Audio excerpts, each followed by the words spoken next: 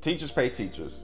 Every teacher selling on this marketplace wants to strike oil, becoming the next Jed Clampett. However, someone from a distant land has created a far more effective example for frustrated educators to attain financial success from their professionalism that has nothing to do with selling digital products and then leaving a profession. That seems to be the MO for a lot of teachers these days. What's up everybody? Welcome for the first time back to another Deshaun Johnson teacher video. And today I'm going to tell you about the man, the myth, the legend of South Korea, Mr. Kim Ki-hoon. In 2013, the Wall Street Journal wrote an article titled The $4 Million Teacher. I'll leave a link in the pinned comment so you can check it out. Uh, I discovered this article at the same time in 2013, remembering I want to be just like this guy. I was embarking on getting certified teaching 8 through 12 English right here in Texas. The strategies, work ethic, and methods of Mr. Ki-hoon inspired me to enter the field with an entrepreneurial mindset and setting myself apart from other teachers. Though I was working for a school district, the experience I gained could be later leveraged to create digital products of my own. And I did that teaching online through the power of YouTube and using other mediums. Kim Ki-hoon embraces the necessary grind of education.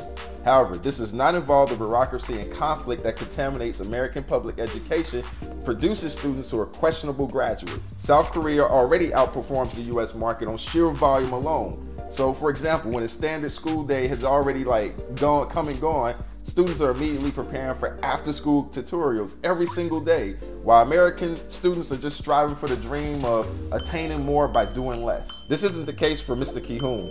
His philosophy is relatable for every layman instructor. The harder I work, the more I make. I like that. He's in control of the outcome of his profession, not administrators, not parents, and surely not the students. Now that sounds a little bit harsh to say, but it shows in his results people seek him out. They're willing to pay for his time through synchronous and asynchronous learning. According to that same Wall Street Journal article, Mr. Ki-hoon's blueprint for success is designed as the following. Mr. Kim works about 60 hours a week teaching English, although he spends only three of those hours giving lectures. His classes are recorded on video and the internet has turned them into commodities available for purchase online at the rate of $4 an hour, back in 2013 mind you. He spends most of his week responding to students' online requests for help, developing lesson plans, and writing accompanying textbooks and workbooks, about 200 to date. The bulk of Mr. Kim's earnings come from the 150,000 kids who watch his lectures online each year. Most are high school students looking to boost their scores on South Korea's version of the SAT. He is a brand name with all the overheard that such prominence in the market entails. He employs 30 people to help him manage his teaching empire and runs a publishing company to produce his books. Now, some of us may not have these same grandiose aspirations to be another Kim Ki-hoon, but what can be done today to be the best version of ourselves in our own right? If you're a teacher watching this video, how many years of experience do you have invested in pouring into so many young minds over the years? Did you lead a profession disgruntled because of how education today has changed? Do you feel as if your expertise is now wasted because you left bitter and angry, but still have a heart for gifted understanding to those who do not have understanding? The single lesson I learned I encourage you to take from Kim's efforts is to learn how to leverage your experience, distilling it so others can find some benefit from it. As I said earlier, run of the mill wisdom suggests to package this up into a typical digital product, but you already knew that. I have better advice for you, especially if you're an educator. Embrace the hurt. Look beyond just being a teacher with wishful thinking about third parties improving their system. Teaching in America has its issues, but it's not without its bright sides. I have gained insight on classroom management, building relationships with a cultural spectrum of students, and developed wonderful professional relationships and won awards throughout my educational tenure. I never gave up or allowed popular opinion about education to sway my experience. Instead, I asked, how can I separate myself to be sought after by others by adding value differently? That's the biggest lesson I pulled away from Kim. For me, he is the ultimate teacherpreneur. I believe most teacher misery emanates from a lack of drive outside of teaching itself, meaning that teachers simply just teach and do nothing else. I believe to be an effective teacher today in 2022, you have to have other ventures developing as a means of hope. Hear me out on this one. Most educators feel as if they are stuck where they are never able to lead a classroom because they have nothing else going on. And if they leave, their only other options are McDonald's or retail. And that's a sad case to see for many people to be believing that. When I taught English, I was a happy English teacher because I was actually working on my writing and web design career as well. I brought my work experiences into the classroom to be an example to not only the students, but my colleagues as well. When the time came to leave, it was an easy pivot because I had the catalog built up as a professional, as professional proof of my skill set. I took a page out of Kim's book, leveraging my knowledge by utilizing things such as Teachers Pay Teachers to create a product, but it wasn't the only thing, as well as share my expertise on YouTube. Now, here's what I suggest for others to do. Number one, build your own product line based on your own educational experiences. Utilize, leverage teachers, pay teachers, but there's other things like Gumroad and more platforms, marketplaces that you can use.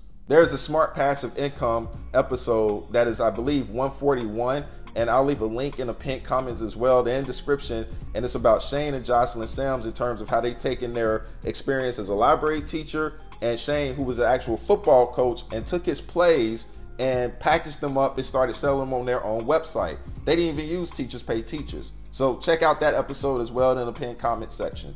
Now, here's something that you don't hear in the conventional wisdom when just placing products on Teachers Pay Teachers. You can actually utilize things such as Uscreen or Vimeo OTT to build your own digital school or aka Udemy. If you look at Kim Ki Hoon, he actually leveraged private tutoring. He have a private tutoring practice that he actually utilized in order to build his empire in addition to all those online lectures that was turned and selling $4 a pop in order to add to that community, in order to add to his empire that he was building. You can utilize things such as Screencast-O-Matic to create the instructional videos that you're adding to your digital school using something like uscreen.com. I'll leave links for the in the description and in the pinned comment as well for those resources too. Number three, write books and teach the tenets from them. During my years, I've noticed that people who are hired to speak at professional trainings are merely former teachers with a minimum of five years experience in the classroom and then they take that five years that they received and curated it as a cure to the things ill in public education today. People that come with this Yoda knowledge beyond their youthful years are Harry Wong, Ruby Payne, who are OGs in their own right. We, unfortunately, may not be making $4 million anytime soon, but that doesn't mean we can't strive for those same heights in our own right. Now, where is this legendary man today? And that's a good question.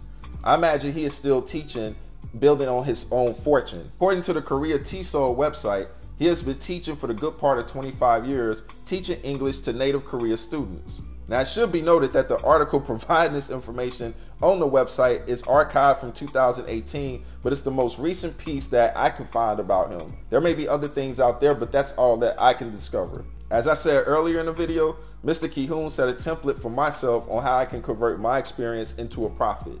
Yet, as profound as his success is, you yourself cannot reach this mentality until you dig enough and search why you want to even stay in the education field, especially if you're on the ready to quit side. You're ready to make another um, teacher, I quit teaching video. Instead of listening to the same why I quit teaching videos of people who only been at it a year or maybe even shorter than that, watch a different and fresh perspective on seven concrete reasons to stay in your position right here in this video.